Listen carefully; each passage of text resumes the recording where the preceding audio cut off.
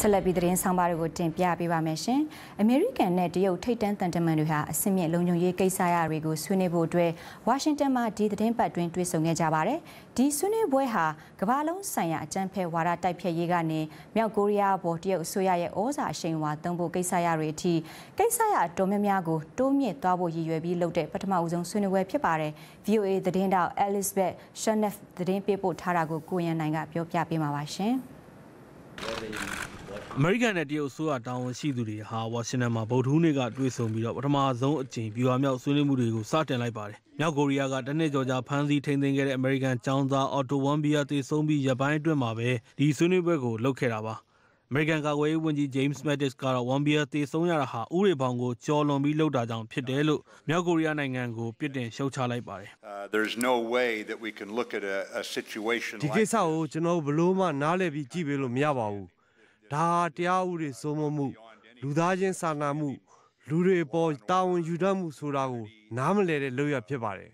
ဒီဆွေးနွေးပွဲကိုပူးတွဲကျင်းပခဲ့တဲ့အမေရိကန်နိုင်ငံသားရေးဝန်ကြီး Rex Tillerson ကလည်း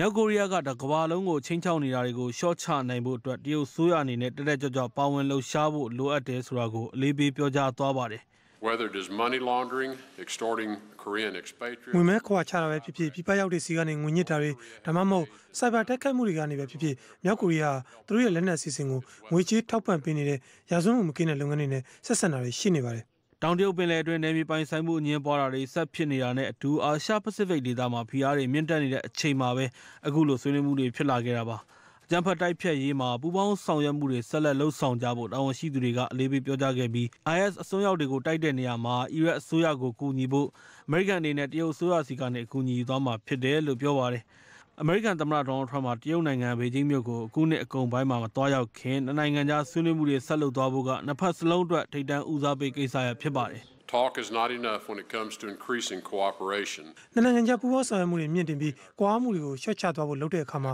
ဆွေးနွေးနေုံနဲ့မလုံလောက်ပါဘူး။ကျွန်တော်တို့ဒီနေ့လုပ်ဖို့သဘောတူခဲ့တာတွေကနောက်ထပ်ဆွေးနွေးမှုတွေလုပ်ဖို့အတွက်အခြေခံအုတ်မြစ်တွေပဲဖြစ်ပါတယ်။ အမေရိကန်သမ္မတဒေါ်နယ်ထရမ့်နဲ့တောင်ကိုရီးယားသမ္မတမွန်ဂျေအင်းတို့ရှေ့သတင်းပတ်အတွင်းမှာတွေ့ဆုံဆွေးနွေးသွားဖို့ရှိနေပြီးတော့ဒီဆွေးနွေးပွဲမတိုင်ခင်မှာအခုလိုပူးပေါင်းဆောင်ရွက်မှုတွေလုပ်ဖို့ကတိပြုခဲ့ကြတာဖြစ်ပါတယ်ခင်ဗျာ။